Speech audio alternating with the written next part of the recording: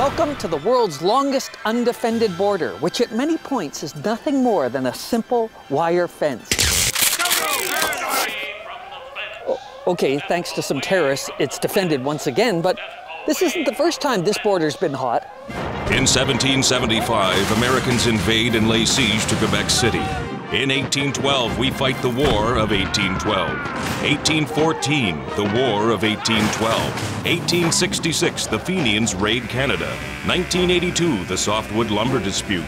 1986, 1989, 92, and 96, the softwood lumber dispute. 2004, one diseased mad cow. SARS, 9 11, the softwood lumber dispute. And the hockey strike. I have a theory that we can understand the highlights and low points of the past 250 years by focusing on the high-handed lowlifes who were in charge. As President Truman said, the buck stops here, which is a buck 30 Canadian.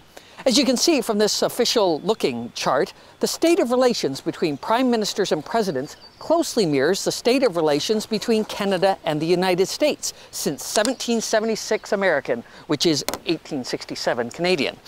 Things get weird at some points, but we can understand the relationship between these two countries by focusing on the gruesome twosomes who ran each country.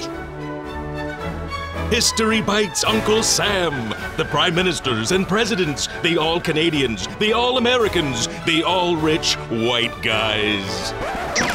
Neither Canada nor the USA have been led by a visible minority, someone you can tell is visibly Chinese or black or Hispanic by their hat but we've both had invisible minorities. For example, you couldn't have told that John Diefenbaker was wacko just by looking at him. Same with Richard Nixon. Another invisible minority? How about anti-Semitics who consult psychics, talk to their dog, and save prostitutes? Canada head, Mackenzie King. America head, okay, so there were some differences.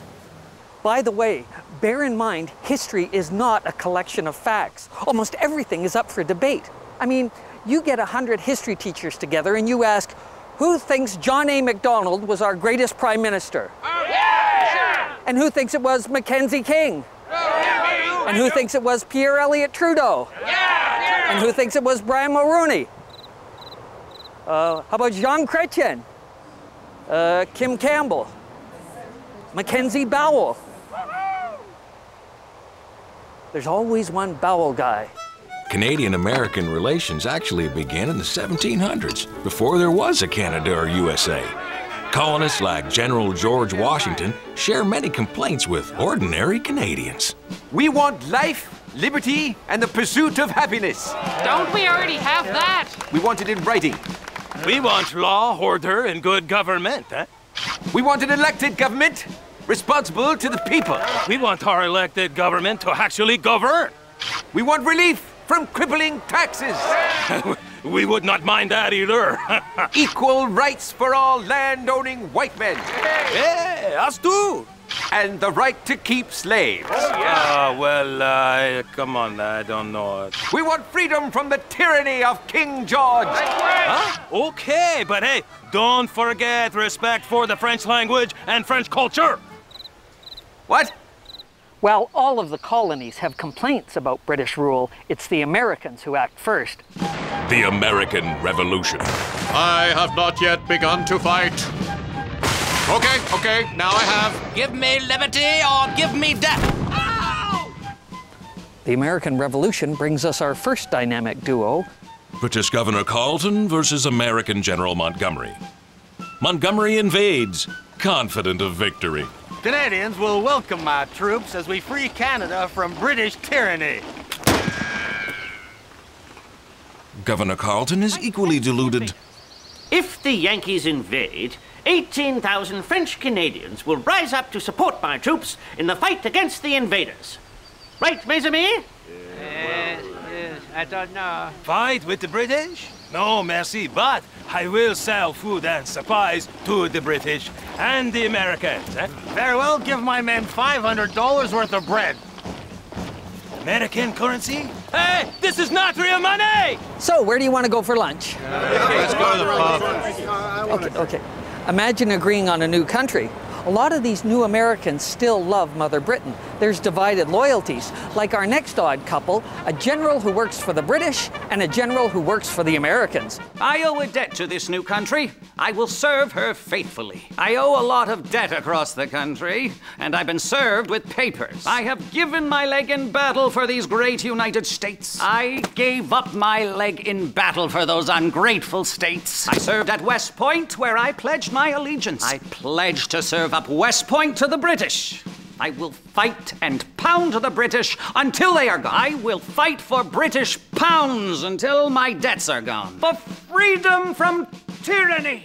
For financial freedom. Benedict Arnold isn't alone in switching sides.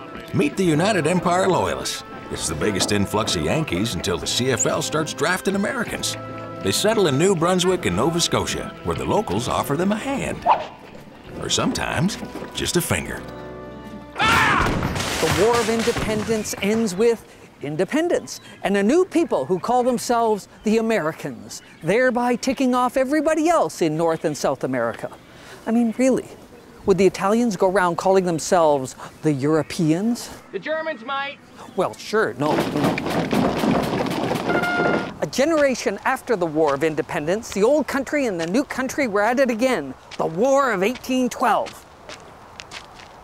America invades Britain. Well, they can't, so they invade British territory, Canada. And here, Fort York, which was once on the shores of Lake Ontario, is a key bastion in repelling the American invaders. During the War of 1812, the Americans tried to capture this fort twice. And both times they were successful. We tend to forget stuff like that. But we do remember that when they tried for the third time in 1814, we drove them off. And all proud Canadians remember that we burned the White House. Well, we didn't. British troops did, but it was on our behalf. At ease. The best way to understand the conflict is to compare two leaders, General Isaac Brock and President James Madison. In this corner, in the red uniform, General Isaac Brock. Brilliant tactician, courageous leader, relentless opponent. And in this corner, in black, President James Madison. Served in the Continental Congress, father of the Constitution, Secretary of War, and a small wrinkled man with a really stacked wife. Okay, I'm breaking up. Here we go now. Hey, you got that? Round one, the naval blockade. Round two, the Battle of Mackinac Island. Round three, the Battle of Fort Detroit. Round four, Battle of Fort Dearborn. Round five, Mohawks join the British. Round six, the Battle of Queenston Heights. Brock's down, he's killed, but his spirit lives on. Round seven, the capture of York. Round eight, the Battle of Stony Creek. Round nine, the Battle of Beaver Dams. Round ten, the Battle of Crysler's Farm. Round 11, the Battle of the Shannon and the Chesapeake. Round 12, the Battle of Fort Erie. Round 13, the Battle of Lundy's Lane. Round 14, the burning of Washington. And round 15, the Battle of New Orleans. The Americans kept losing battles, but they won the war. Kind of the opposite of Vietnam, where they won all the major battles and lost the war. Now, the peace treaty guarantees America's right to exist and land, lots of land, just not this land. This is Discovery Harbor in Penetanguishene, Ontario, a beautifully restored British military establishment. Built for the War of 1812, it was maintained for long afterwards because Canadian colonists were afraid of an independent America. But some were inspired by American independence. As America grew, expanding westward, Canadians began to think that maybe life, liberty, and the pursuit of happiness, or something milder and more suitable for the cold weather, would be a good idea. So some frustrated rebels in Lower Canada started the Lower Canada Rebellion.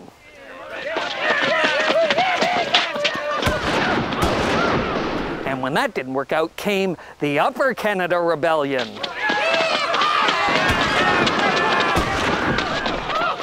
And when that didn't work out, came more talk. The instigators of the rebellions, Papineau and Mackenzie, fled to the United States. Both men eventually returned to Canada and were pardoned, but their rabble rousing did cause Britain to sit up and take notice. London sends Lord Durham, who quickly concludes the colonies should be confederated. Upper Canada, Lower Canada, Nova Scotia, New Brunswick, and PEI, begin tiptoeing towards union, like the United States. Even the British want the colonies to unite, like the United States. Meanwhile, the United States have become ununited. North versus South. The American Civil War leads to mass slaughter, an entertaining Ken Burns documentary, and Canadian Confederation under Sir John A. Macdonald. If we learn only one thing from the American Civil War, it's that we need a strong central government to overrule the petty local interests. In this way, we can build a strong nation that can endure. Only then can we enjoy the intoxicating nectar of freedom. Only then will we enjoy the cold, refreshing taste of self rule. Dignity on the rocks! Imagine Canada like, like an ice cube floating in a glass of whiskey. Some people say she's half full. I say she's half empty. I say we need a refill. Who's with me? Pub's open. All right. Another way the Civil War caused Canada to be was the Alabama, and not the state, the warship. These are the adventures of the Confederate ship Alabama, whose five-year mission to seek out Union ships and sink them, to disrupt trade and capture supplies, to cause millions of dollars in damage to the Northern military. What's going on? Uh, you didn't specify what kind of ships broke. So you got spaceships? Yeah, a friend lent them to me. Sailing ships are really hard to build, man. Disrupt trade, capture supplies.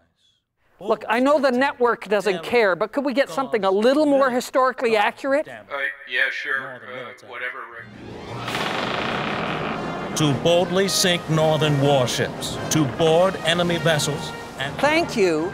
The point is, the British built Alabama sank a lot of ships and raised a lot of hackles. Americans blamed the British for extending the Civil War. Canada, you're next. Let's punish British North America. Up yours, Canada. Lower Canada should be Upper Vermont. But Her Majesty wasn't about to hand over half a continent to anyone. Bad precedent and all that, what, what, yes.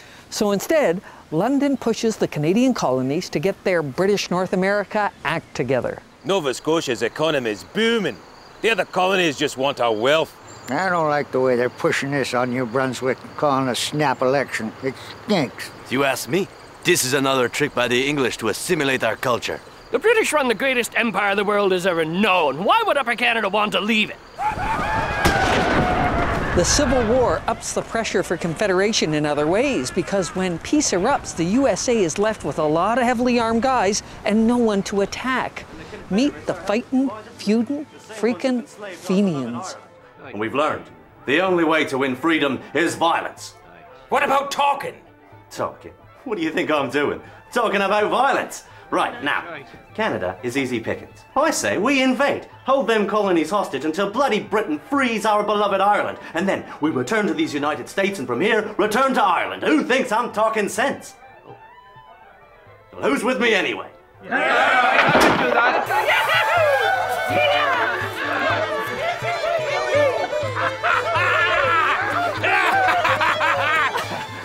Boyle. Will this be Canada then? We've come to attack British land. Oh no, this is uh, Alabama. New Brunswick is that way. So Irishmen from America attack Nova Scotia to get at the British, and that helps create Canada. Well, fear of Americans has kept Canada together ever since. Coming up, another way the Civil War saves America and creates Canada. In the 1860s, hard drinking General Ulysses S. Grant fights the Civil War to keep America together. Meanwhile, hard drinking Johnny Macdonald works to put Canada together. And what tool do they both rely on? Well, nations have always formed along rivers the Nile, the Thames, the Yangtze. For Canada, it's the St. Lawrence River. This is our lifeline of trade, and the economy moves at the speed of a paddle until the railways. Trains were fast, and fast railways had been a key to the North's victory over the Confederates. Canada took note. As well, it's easier to lay track than dig canals, and ships had one more drawback. And now to weather. As you can see, Old Man Winter has finally settled in, rivers and lakes are frozen solid, and the schools are closed. The government is closed, the factories are closed, grist mills are closed, forges are closed, roads are closed, and the taverns are open. Now, British Columbia was considering joining Confederation if she could get a road built across the prairies. When Ottawa offered a railway, BC said, okay.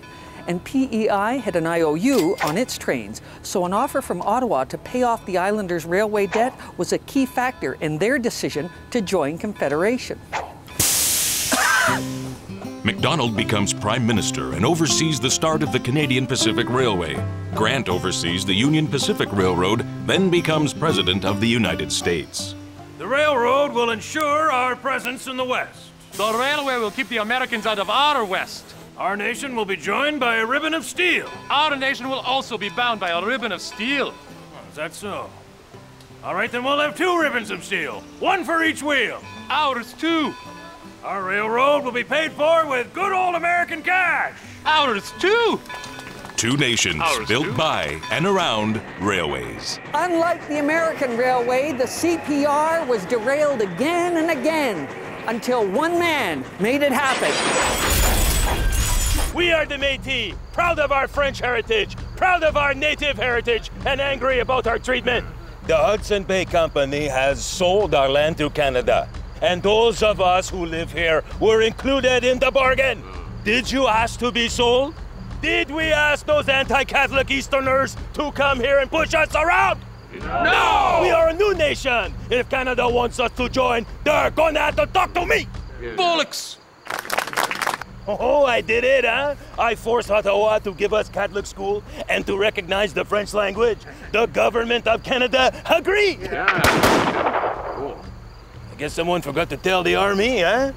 And so, as the leader of uh, British North America Rebellion, I guess I got to do what all great leaders like Papineau and Mackenzie do, eh? I flee to the States. I'm a pack. I've been to America and an asylum, and now I know my destiny. We have God on our side. We have the railway and a machine gun on our side. God is the key to our defense. Nothing can harm me now. I am sending in the troops by rail to really derail Riel's unruly rally. I am Louis David Riel, the prophet of the new world, infallible pontiff and priest king. Save us, Lord! Protect us! Give us a miracle! There is no miracle. Macdonald lets Riel hang. His voice is silenced. I believe that this will prove that the railroad is not some make work project to make some rich men richer. The people of Canada owe a debt to the railway. And the owners of the railway, they owe a debt to Louis Riel. Suddenly, the railway was seen as a strategic weapon. Iron rails could bind the nation together and tell everyone, we're here.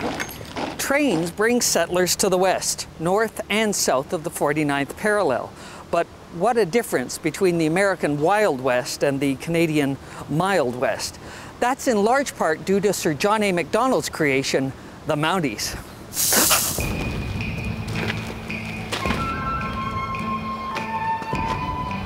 He's got a gun! Oh,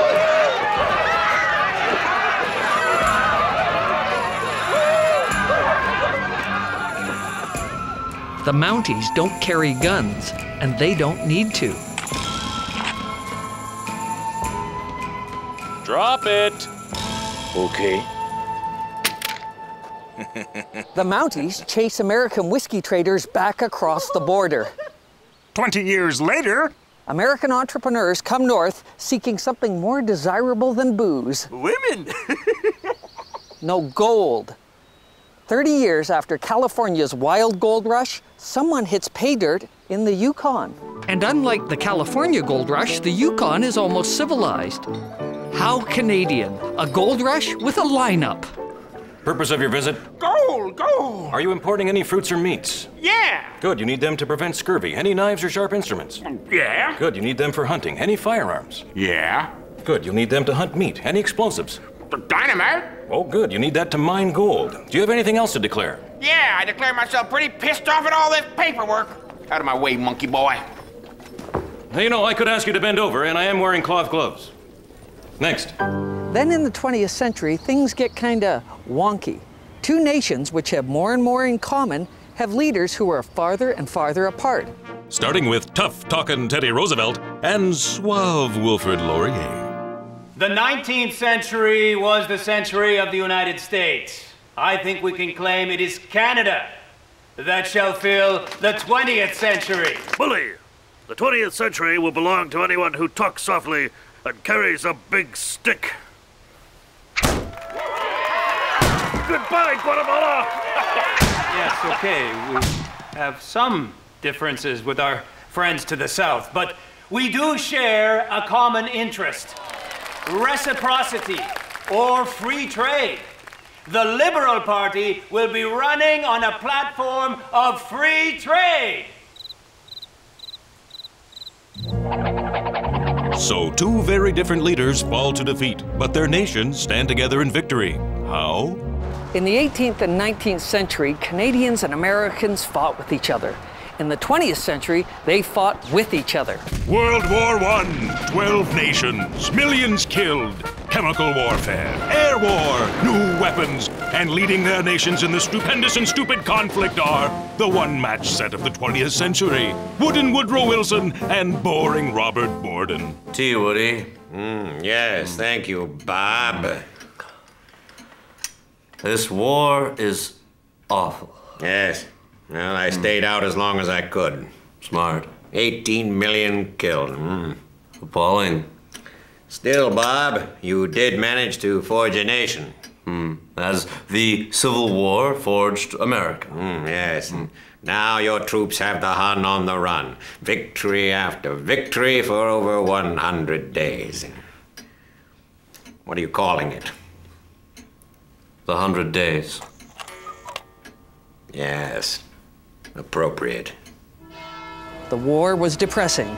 Then came the Depression. And our nations turn to Franklin Delano Roosevelt and Richard Bennett, the genteel intellectual and the pompous millionaire. One talks the talk, one walks the walk. We've had four years of misery.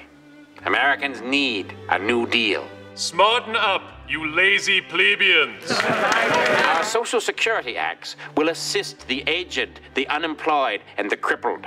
I made my millions. Why can't you?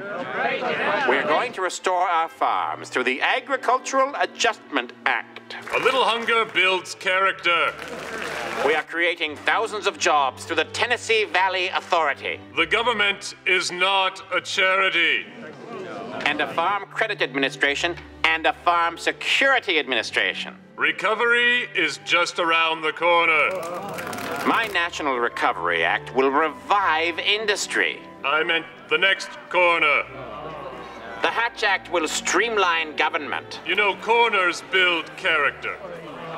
Building interstate highways will create thousands of jobs. But eventually, Bennett has to face the plebeians. An election already.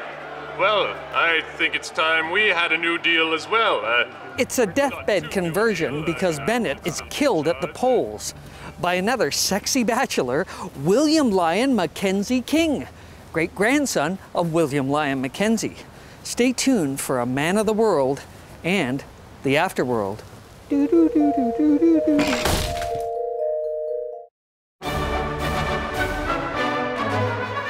the end of the Dirty 30s, both Canada and the USA have their longest serving leaders Franklin Delano Roosevelt and Mackenzie King. Devastated by the Depression, both Canada and the United States need something to get their economies booming. Oh, a war! Canada becomes the arsenal of democracy, and the United States becomes an even bigger arsenal of democracy. Roosevelt leads by speeches and personality. King by being bland and avoiding decisions. King waffles and sidesteps for five years to avoid bringing in conscription, which has divided French and English Canadians. In America, Roosevelt simply brings in the draft. After the war, the 20th century trend of opposite styles continues. In Ottawa, elegant bilingual Louis Saint Laurent. In Washington, honest, plain spoken Harry Truman. We will build a strong Canada through government mega projects the Trans Canada Highway, the Trans Canada Airlines, and the Trans Canada Pipeline. We'll keep America strong, America, by stationing troops all over the world. We will build international bonds at the United Nations, in the United States. We will build intercontinental missiles in the Midwest, near Canada. The UN is supposed to be the world's policeman. Why do we need that? Well, consider if you kill someone from another street, another neighborhood, another city, even another province, the police catch you, you go to jail. But if you kill someone from another country, they give you a medal, huh? Qu'est-ce qu'il a dit? Je sais quoi? The UN had a charter to find a better way, and soon the charter had its first big test. Communist North Korea invades somewhat democratic South Korea. The UN condemns the invasion. The invasion continues. So the UN sends in troops from Australia, Belgium, Britain, Canada, Colombia, Ethiopia, France, Greece, Luxembourg, the Netherlands, New Zealand, the Philippines, Thailand, and Turkey and a whole bunch of Americans led by General Douglas MacArthur. Of course, this was back when the United States was still willing to get United Nations approval. And then comes a pair everyone approves of rich playboy Kennedy, humble prairie lawyer Diefenbaker. The First Lady is a hot tomato, while the PM's wife is a dry olive. That's the myth. Everyone remembers President Kennedy as the charismatic leader, but John Diefenbaker was actually the hotter star. Believe it or not, his campaign speeches got the same reaction as another 50 celebrity. Forget Elvis the Pelvis, it's Dief the Chief. Oh, Canada, you mine from sea to sea. Oh, Canada, you're true, no strong and free. I will be your destiny if only you will for me. Oh, then I'll have the power to crush my enemy. Booga booga bing bong, walla walla woo. Okanagan near loopty loopty loo. When a polyphrases I mess up all the vowels, I blame it on the background and I blame it on my jowls. I'm barely incoherent when I'm a speak of French. Or when I speak the English, I don't make much more sense. No, I don't. No sense at all. Mercy. Only Diefenbaker could turn this adoration into aggravation. An example of how Dief ticked everyone off? We are a nation of the North, so I have taken action. I have made a decision to switch 15% of Canada's trade with the United States, which is to the south, to Britain, which is to the north. Were you to go over the pole? We are concerned by Mr. Diefenbaker's unprecedented decision, as it is contrary to the rules of the General Agreement on Trade, the rules of economics, and everything that is fair and decent in the universe. So Dief is forced to go back on his word. We understand Mr. Diefenbaker has reversed his promise and will not be transferring trade to Britain, and we are more than a little disappointed and surprised and hurt. We could use the money. Diefenbaker didn't like Yankees, and he ticked them off. Diefenbaker loved Brits, and he ticked them off. Then he began to tick off Canadians. Dief puts the shaft to the arrow. The fabulous fighter is over budget and off the rails. The Avro Arrow is a first-rate Canadian-made world-class fighter aircraft. And as Canada has a long and a proud tradition of providing its military with lousy foreign-made equipment, well, I'm canceling the project. The brain drain begins. Well, I think hundreds of Canadian scientists and engineers will have to move to the United States to get work on their space program, which is a crying shame when you consider how little the American dollar is worth. The future is in missiles. Missiles that will point to the north, for we are a country of the north. Where will we get the missiles? From the south. We will be buying the Bomarc American missile system. And believe you me, it is a unique missile system. Washington explains why the missiles are unique. Yes, uh, no one else will buy the Bomarc. Thanks, Canada. We can't supply you with the nuclear warheads. Yes, well, as you know, Canada has declared itself a, uh, a nuclear-free zone. Uh, so we will be using um, alternative warheads. And in Ottawa, The missiles will be armed with a particulate matter, a granular payload of multiple fragmentary shards of sand. Sand? Sand. The Canadian military has a great deal of experience with sand in sandbags, but the missile will be as deadly as an arrow. The Avro Arrow Fighter? No, a, a real arrow. Oh, God. The sand will come from a Canadian beach. Yeah, a beach to the north. while Diefenbaker flounders, Kennedy hits all the right notes. Girl, I've got a question, I know you do too. But ask not what this land can do for you. I'm looking for courageous heroes to lead this nation to greatness through actions and deeds. So, girl, I promise we'll go to the stars. And I've been in battles, I've had it with wars. Let's conquer the world with my new Peace Corps. Then get naked at my place and roll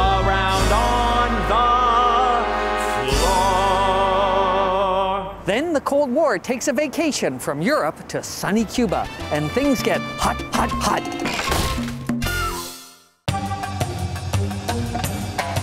1962, the Cuban Missile Crisis, a no-win Mexican standoff between Kennedy, Khrushchev, and Castro.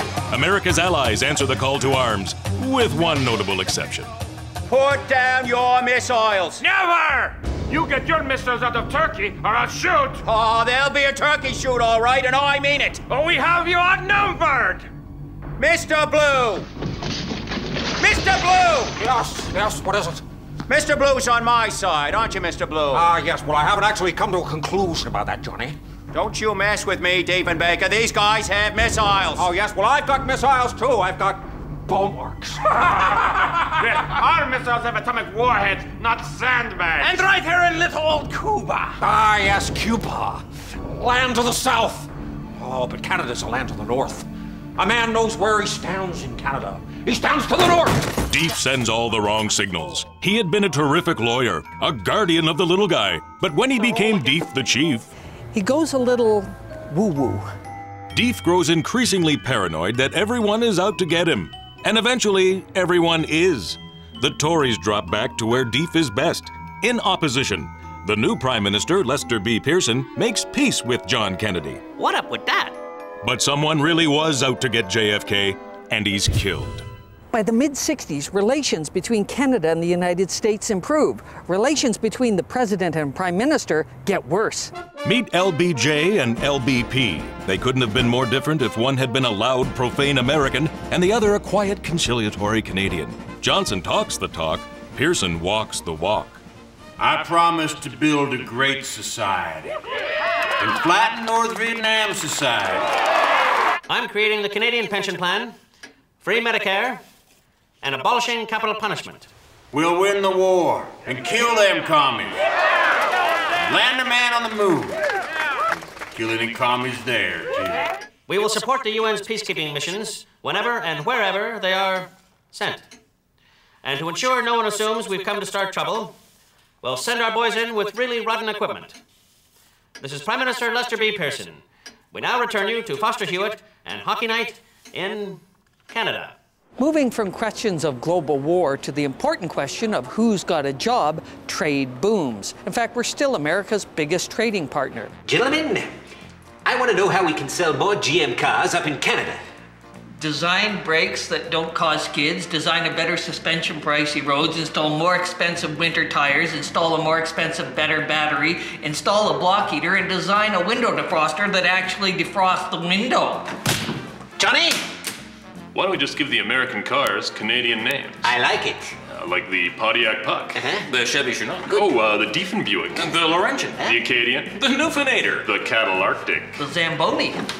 I love it. Okay, okay, the cars aren't Canadian, but more and more the parts are. Under Pearson, we signed the Auto Pact with the United States. The Auto Pact creates wealth and proves that free trade works, leading to no other free trade. By the late 60s, the contrast gets even stronger a Quaker Dick and a French Peter. Americans go back to Richard Nixon from the 50s. Canadians kind of get ahead of themselves with Pierre Trudeau, who isn't even 50. What do you think about your enemies? Oh, well, uh, I know they hate me. Uh, I have lists of enemies, and uh, I'll deal with them. I am the president. Uh, I will be respected. What do you think about your enemies? Uh, screw them. What is the greatest threat to the future of the country? Oh, uh, communism. separatism. Are you worried that more and more countries will become communist? Oh, yes, it's the uh, domino theory. As goes Angola, uh, so goes Alabama. Communism is a cancer to our democratic way of life, second only to uh, uh Watergate. Well, uh, if there are more countries going communist, uh, there are more countries that need our wheat. China must be brought into the civilized world, and these communists must be brought to heel. I love going to China. Now, is it true you called Canadian Prime Minister Trudeau an asshole? Oh, uh, I never said that. I'm a Quaker. Uh, I don't use expletive deletatives. I've I've been called worse by better people. Uh, my ex-wife, for one. What about Trudeau mania? Trudeau mania. This is uh, something that's been invented by the press. Uh, Nixon mania. Uh, I'm not really sure what that is. What about the loneliness of office? Oh, uh, I'm never lonely. I have, uh, I have my dog checkers. Mm-hmm. Uh, oh yes, and uh, Pat. What about the loneliness of office? Well, uh, yes, the loneliness of office, but also later at night in bed, it is very lonely as well. Uh, perhaps you could help me out with that. Ah, the 60s. While Americans burned their flag, we replaced ours. Ta-da! Most Americans are kind of surprised to find out that while their campuses and ghettos exploded with gunfire, our mailboxes exploded with terrorist bombs. The FLQ and the October Crisis bring Canada to the brink of civil war. Or so it seems at the time. It's time we quit blowing up mailboxes and do something bigger. Huh? Mail trucks? No. Oh. First, we kidnap someone. Then, we kidnap someone else. Then, we screw it up. We kill one of the hostages. We turn everyone in the country against us. we alienate everyone. Then, we botch it. We flee to Cuba in a jet and we spend a couple of sunny years there until we realize that communism is just a big piece of poo. Then we come back we spend a couple of years in jail, and then we get soft government jobs. eh? Good plan, good plan. C'est bon, c'est bon. Merci, merci. I will go and phone in the ransom demands. Oh, no, no, no, no. They can trace their phone. Use their post. I cannot.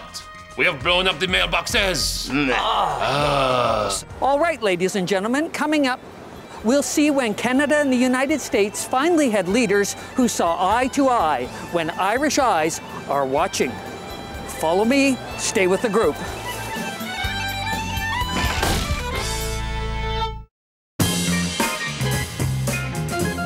After Richard Nixon and Pierre Trudeau came Gerald Ford, John Turner, and Joe Clark.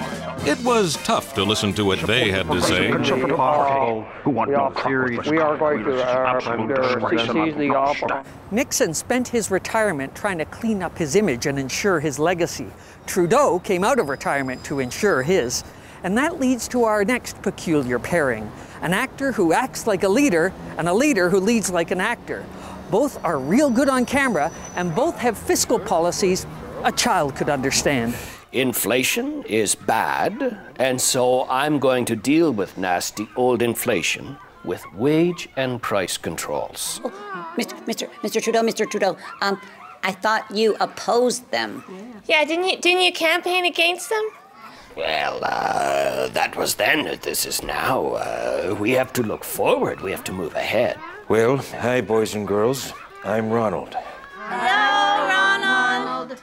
My idea is Reaganomics. Since the people who make most of the money pay most of the taxes, I'm going to cut taxes on the rich. That way, they'll be able to buy more yachts and diamond rings, which will in turn create uh, more jobs for the ordinary yacht builders and uh, jewelers. That's why I've set up the Foreign Investment Review Agency. Won't that stop investment and slow down economic growth? Uh, government rules. Uh, slowing down the economy, that's impossible. Uh, Yeah, but don't the rich just invest extra income? Uh, no. Won't, won't they send that money offshore? Well, uh, Don't the poor people spend every dollar they have, keeping their money in circulation? well, that's. Yeah, pe- people on welfare put every penny back into the economy. Well, now you're not thinking like millionaires. Besides, I've set up the National Energy Program to freeze the price of oil. Well, what if oil prices go down? Yeah. Oh, won't that tick off Alberta? It's, uh, it's only Alberta. This is my trickle down theory. Have you ever been trickled on? Then suddenly it's 1984. With Brian Mulroney and Ronald Reagan, Canada and the United States finally have leaders who think alike. They believe government is bad, inefficient, wasteful. Being in government, they ought to know. Mulroney's campaign promise? We will manage government finances with a sharp eye and build a more united Canada. Nine years later, Uh, the nation is far more in debt, and uh, separatism is a major force again. Uh, goodbye. Brian Mulroney promises give us 20 years and you won't recognize this country. We give them nine years, and I do recognize this country. It's America. Angry over the GST and free trade, Canadians turn to a man who offers change. Chrétien's campaign promise? If elected, the Liberal Party promises to remove the GST and to pull out of free trade. Three months later, What about free trade and the GST? Pardonnez-moi, je ne compris pas. As trade in goods and services booms, we begin to toy with other American ideas like private health care, political assassination. Jean Chrétien faces several threats. Well, not threats so much, but attempts. Save him! Save him! Protect him! Get the Prime Minister off that guy! A man managed to slip past the two elderly security guards, the picket fence, and the littlest hobo attack dogs. The Prime Minister grabbed an Inuit sculpture to bash the burglar, while his wife Aline, who does not know karate but has a black belt to match her black shoes, locked the intruder out. The RCMP is promised to upgrade security. Let me introduce you to the one piece of equipment that could save your life the door lock. When used properly, it can stop any intruder or even the world's greatest police force, the RCMP. Take it, sleep with it. It is your mother, it is your lover. Speaking of doorknobs, brings us to another unlikely pair Bill Clinton and Jean Chrétien. Bill Clinton was a Rhodes Scholar, a great negotiator, and the master of compromise. And he was often in compromising positions. Jean Chrétien was tough, single minded, and pretty hard on his critics. I was not. I'm nice. I'm the little guy from Shawinigan. Both men had partners they fought with and publicly humiliated. Hillary, I did not have sex with that woman. My cigar did. Oh, baby, you have to smile for the press and, and, and pretend it's okay. Remember, you want to be a senator. Paul, I did not screw with the sponsorship money. My aides did it for me. Oh. You have to smile for the press and pretend it's okay. Remember, you don't want to end up a senator. At least Bill and Hillary make up. She becomes a senator from New York, and Paul Martin becomes Prime Minister of Canada, so roughly equal in prestige. And Paul Martin becomes half of our final gruesome twosome with George Bush Jr. Read my lips. No new terrorists. We, uh, we don't know, and uh, we will find out because that's what Canadians want, uh, is finding out about stuff. I'm a dog and simple-minded. Ah, wait, a- wait a second. I mean, I'm dogged and single-minded. Man, I hate when I do that. Why do I do that? We will lead by consensus unless enough people don't want us to. Then we won't. We will bring democracy to the world. That's democracy with them voting machines with the hanging chads. We've been given the authority of a minority by a majority of Canadians. I'm not ashamed of my military record during the war in Vietnam. Uh, what's there to be ashamed of? Thanks, Daddy. Canadians want change, and we will continue to give them the same old change that they're used to. We will fight these terrorists from Saudi Arabia by invading Iraq. So now Paul and George just need a John and a Ringo, and the world's longest undefended border is again being closely watched, this time from the south. Well, that's a refreshing change. Them nervous of us. Now, it's been said that there's no difference between Americans and Canadians, and that the quickest way to prove that wrong is to say exactly that to a Canadian, because there are differences, starting at the top. Like, the greatest American presidents have always demonstrated strong leadership. The most successful prime ministers have always demonstrated good people skills and management skills, and, well, Trudeau accepted. And as for Americans not in the White House, well, I happen to think that Yanks are among the greatest people in the world especially when they come here. Step away from the fence. Step away from the